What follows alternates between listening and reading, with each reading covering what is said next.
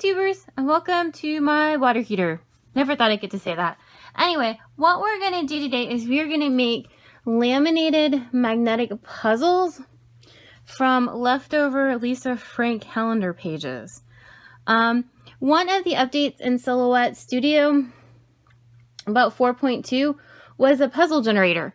So you can make puzzles in Silhouette Studio. So we're just going to make them magnetic and laminate them. So you can um, put them on, obviously, um, your fridge, things like that. Um, one of the few things that's magnetic in my basement is uh, my water heater. So that's why I displayed them over here today. But um, pretty quick to make. And I think this is just a fun little project. So let's go show you what you need. Alright, so you're going to need something to turn into a puzzle. Um, we're using, this is an old Lisa Frank calendar. Um, I loved her as a child, so we're going to turn these into puzzle pieces. And then what we're using to do that is the Xyron, the Creative Station. Um, I love this thing. And it comes with different cartridges. And the one we're going to use is, it's the laminate and magnetic one. So the top part is laminated and then the bottom part is magnetic. And so that's what we'll, we'll put our calendar page through and then that's what we'll cut so we can make it magnetic. And then it's laminated to make it a little more durable. And then, and then highly recommend a strong grip mat. Um, it's a lot of force and a lot of cutting. Highly recommend this. If you don't have, this is a brand new one because mine was really not strong. Um, highly recommend tape if yours isn't honestly brand new, we still might tape this. Um, I also have a ratchet blade.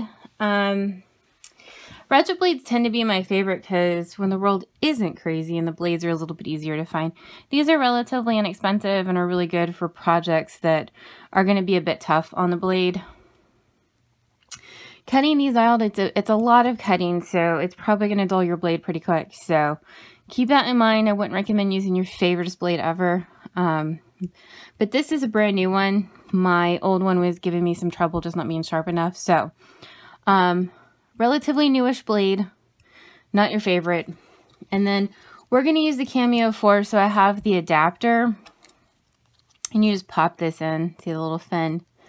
Pop it in. Um, you can use any of the any of the cameos, one, two, three, or four. Um, if you do use a one or a two, just make sure whatever you back the puzzle with isn't really, really thick because it doesn't have as much clearance as the four. So don't put anything too thick through the machine that the machine can't, and the machine can't get through. So keep that in mind. And then I've been using um, my self-healing cutting mat uh, rotary cutter, and ruler. Um, you don't need all of this, but you're going to need something to measure and cut because we're going to have to trim it down a little bit before we put it on the mat. So, a little bit of that. So, um, let's go set up our page and then we will cut. All right, so the creative station is only nine inches wide. The, the big creative station is only nine inches wide. So um, keep that in mind if you, um, when you do this. Uh, so your picture, it can be longer, but it can only be nine inches wide. So I think we're going to use our little dolphins here. And I've just been cutting them out and then trimming them down after I cut them out. Alright, so we need this to be 9 inches. So we're almost there. So a couple things to keep in mind. Um, don't get attached to anything that's really around the edge because it may get chopped off in the cutting process. So you want to make sure your important part is in the middle if you can help it. Um, like the seal and this writing right here. It may not make it through this. So I don't want you to get your heart set on some bubble right here and it not be there. Um, And I just trimmed this down to 9 inches.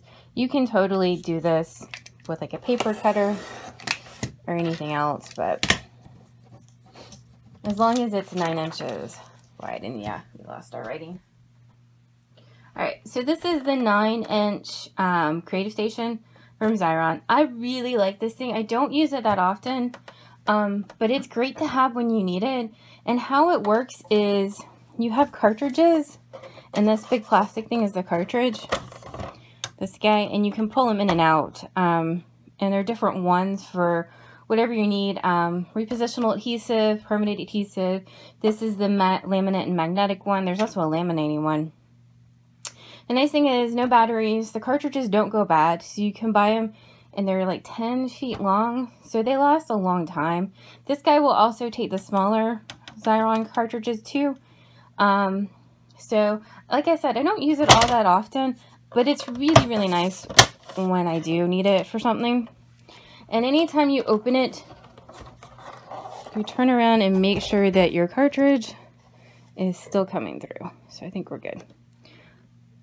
All right, so, what you do is you take your, and for this method, we're limited to 9 inches because that's how wide the Xyron is. Um, if you backed it with something else like cardboard or, I don't know, anything else, um, you could make them potentially, you can make these puzzles as big as you wanted to. You can make it 12 by 24 if you wanted to, if you backed it with some kind of um, thin cardboard or paper. Um, now, it would take forever to cut, but, but, you could do it. All right. Push in far enough.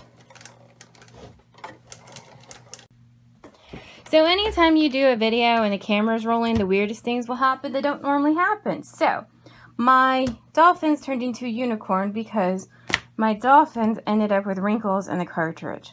Now this is a new cartridge and it seems to be more prone to happen. I thought I had run, um, I had done another one and it was fine, but occasionally they do get wrinkles in them. And obviously, because it's a YouTube video and I want to do it right. If this was just for me, I totally just run this through my silhouette and we call it a day. But since y'all are watching, we are now doing a unicorn. So, and see, this guy doesn't have any wrinkles. It seems to be a new cartridge problem. So, anywho. Um, and this is why another reason I said don't get attached to anything too close to the top. Sometimes they get skewed going through. And see, so I have extra down here and then I've got extra up here. But this is not going to, obviously is not magnetic. So it can't stick on my, on my magnet surface. So, it's going to get cut off when we cut. So, all right. So what I'm going to do is we are going to cut off any just real big extra. I like to leave a little bit around the edge so that we can tape it down to the mat. Um, I don't actually really know if I absolutely need to do that. That's a brand new mat, but better safe than sorry. So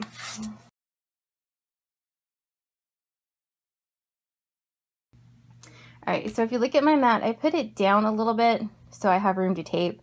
But, um, so we are 9 wide and then we're 10 tall. Seems to be the size for all of these for me. So I left room so we can tape. And when we make our actual puzzle piece in the software over there, we're going to shrink it down so that we have a clean edge here and that we don't have any of the blacks showing. See, that's my day. Just enough. All right. So see, I just have the edges taped and we're going to go over to the software. All right. So we're in Silhouette Studio. This is just standard 12 by 12 mat. Um, we are using 4.3.370, which um, is not the newest one. Their own version is 4.4, but this is currently a stable one. I also don't have a Cameo Plus or Pro. I just have a standard 4, so I don't need to upgrade. So this is the version we are using. Um, to get the puzzle feature, you would need to use 4.2 or later. That's when the puzzle um, upgrade came in. And then you would also need to have either Designer Edition Plus or Business Edition um, to have the puzzle piece. If you have just Designer Edition, it won't be there. So, so what we're going to do is we're going to come over here and draw a rectangle. It doesn't really matter how big it is. And we're going to come over to the transform panel and our scale tool here. And we're going to make it 9 wide and 10 tall. We're going to put it roughly here-ish because that's where it was on our mat when we stuck it. So now what I've just been doing is kind of eyeballing it and making it a little bit smaller but keeping it in that general area to make sure I get the clean lines. Um, granted, it isn't the end of the world if you end up with a little bit of the black magnet showing, but in an attempt to have clean lines, that's kind of how I've been doing it and winging it a little bit. Um, you can be much more precise with this if you want to and measure it to death. I kind of just don't. Um, all right, so we're going to go over to our puzzle piece here. And with uh, make sure that your um, puzzle, your rectangle is selected and puzzle select shape and hit it and it'll put in your puzzle pieces for you. Now from here you can put in quite a number of rows and quite a number of columns. But keep in mind, yeah, you can put in quite a lot. But keep in mind, the more that you put in, the longer it's going to take to cut. And this, this takes a minute to cut on its own. And it also isn't the nicest thing to do to your blade. So keep that in mind when you're cutting. My last puzzle took about 25 minutes to cut. So um, just be aware of that.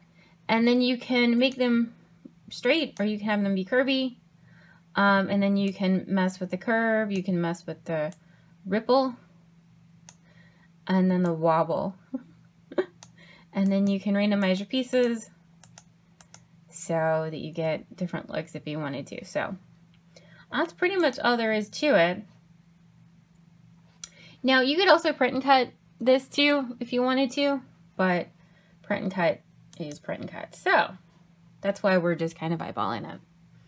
Now, um, I've been using magnet back, magnet paper adhesive back, um, and then, uh, um, it's actually isn't on a blade, it's just a ratchet blade. Um, and since I'm using the Cameo 4, it knows all of this and it knows I'm using a ratchet blade. If not, just select it and then cut. And then it's a force of 33 and a speed of 1 and it's two passes and that's the two passes that makes it really um, take a while. And then I've been setting it at a blade of 8. Now the one big variable with this is I'm using calendar paper which is relatively thin. If you are using some heavy backed cardstock, um, and you printed it, it would be, uh, it would take more. So it might take multiple passes to get cut through everything. Um, so just know that. Know that um, the paper is kind of the variable here.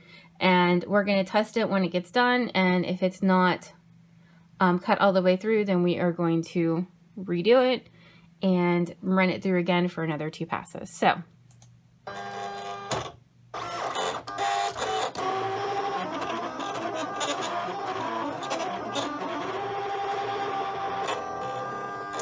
Uh, the computer is saying it is going to be 19 minutes to cut.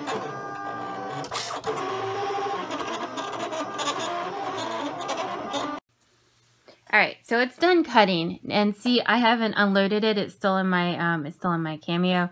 Um, before you take it out, peel some of it up and make sure that it's cut. If it hasn't or if it's not cut enough that you can peel it apart, um, send it back through.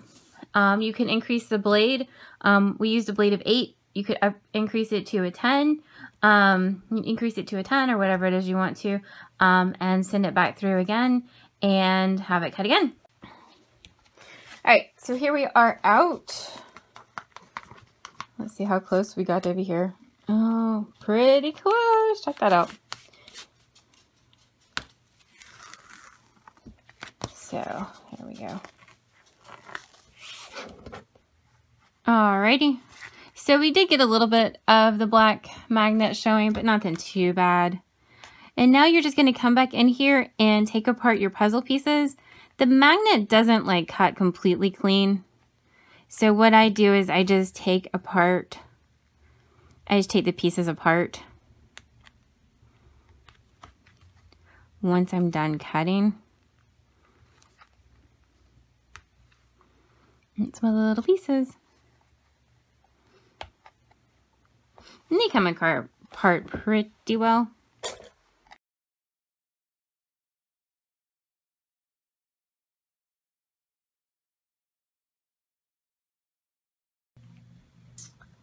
Alrighty, so there is our finished puzzle. There are little pieces. It does look a little bit better on a magnetic surface. It looks a little rough here. Um, now, in all honesty, I probably should have cut this on a blade of 10. Um, we ended up with a couple places that um, the magnet didn't cut clean. So a blade of 10 probably would have done a little bit better and uh, maybe three passes. But that's kind of one of the givens with this is because the paper is the variable. You never really quite know. So, but it did come apart. It's just a little rougher than it probably could have been, um, being a bit of a perfectionist. But you have a puzzle. And I think it's really great that it's magnetic and it's laminated so it's actually usable. And you can put it up on your kitchen. And um, you can make these really hard. You can put in a bunch of rows and columns. Um, you could also do these to be educational if you wanted to. Um, with some kind of puzzly educational thing. I don't know. Anywho, if you have any questions, let me know. Um, you can leave comments down below. And I will be back with another video soon. Thank you so much for watching.